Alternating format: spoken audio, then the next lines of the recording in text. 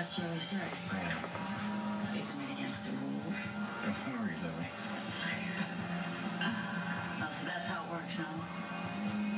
What? If a girl calls you in the middle of the night, weak, needy, that's when you score. That's not what's going on here. God, I looked for you tonight at the meeting in your area. Yeah? Mean, they said you hadn't been there in years. I go to a chapter near where I work. They said you're not welcome at any meeting because they don't trust you with women. Well, you're obviously getting hostile. She asked for help.